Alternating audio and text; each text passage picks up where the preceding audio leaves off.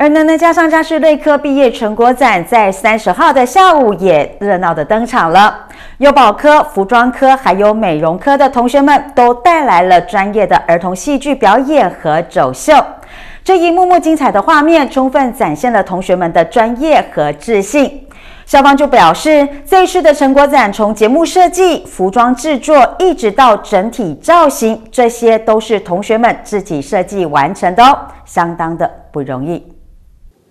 能人加商十二月三十号下午举行家事类科联合毕业成果展，由幼儿保育科、流行服饰科、美容科的毕业生展现三年来的学习成果。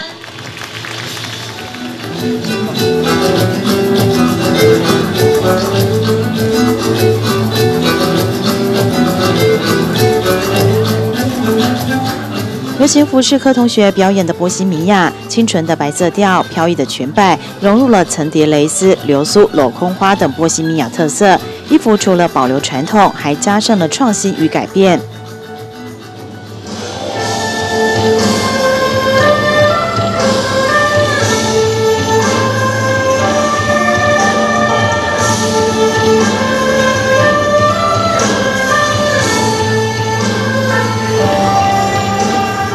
美容科同学所带来的龙飞凤舞，以古代龙凤两种吉祥物为元素，透过红色礼服呈现凤的古典婉约，黑色礼服表现龙的现代感。整场走秀气势磅礴，尤其这次同学们尝试利用青纸土、羽毛、水钻等相当多材质来呈现龙凤造型，更具有层次感。